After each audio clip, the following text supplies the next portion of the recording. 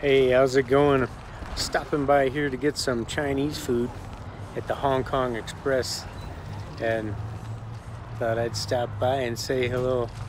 Hey man, if you like these if you like these backgrounds, let me know. I think they're pretty awesome. It says less light recommended on this one, but I'm outside, so this is what I got. Anyway, I was thinking today as I'm driving along way, way early in the morning. I started about 2 a.m.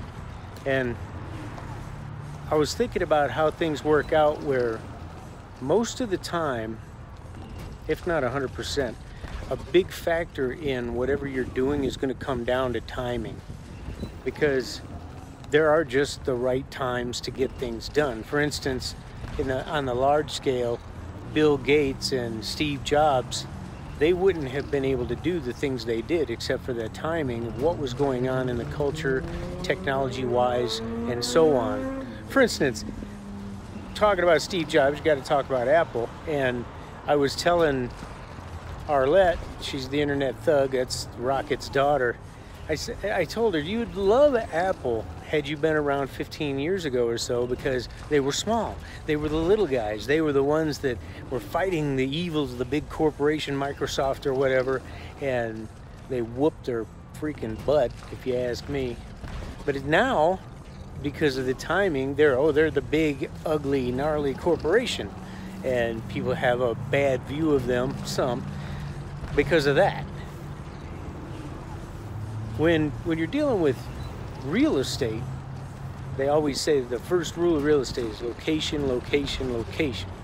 For instance, 100 years ago, if you could have bought some land in downtown Dallas or whatever, you'd have been sitting pretty today. I mean, you're, well, actually, you would, your grandkids would be awesome because they'd have all the money that, that you accumulated because of the fact that you were there at the right time. So when you're looking at something to do, and you're examining different businesses, it's key to notice as far as the market is concerned and as far as the company is concerned. Is it a mature market? Is it a young market? Has it been tried and tested? Or is it sort of brand new where not everybody's sure of it yet? It, are there many, many competitors? Is there a lot of competition, which is really good for a business, meaning there's a huge market for it and there's lots of room for lots of players, especially if they've got new ideas to bring to a mature market. Timing of everything. And a lot of times it'll come down to timing in your own life. Are you between jobs? Are you looking for something new? You got a little bit of money saved up, you plant closed down, and you're looking for something to continue on with. Doesn't matter whether it's your personal timing or if it's the market timing or if it's the company you want to get involved with timing.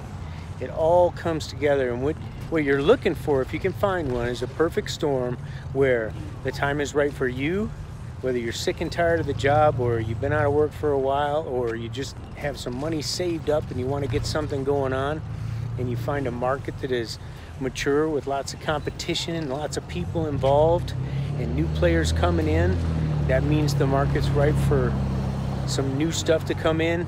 And then you start looking for a company and you find one that's past that awkward newbie stage and it's over four or five years old.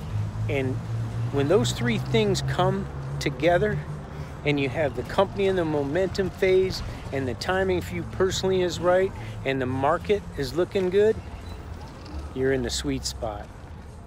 So that's what I'm talking about today. When you're looking around, see if you can find something. It's not a deal killer if all those things are not in alignment. Sometimes you get where you wait for your own alignment to catch up or, or a certain company, whatever it is, just make sure that when you jump, you're as close to the sweet spot as possible. After that, just go wild.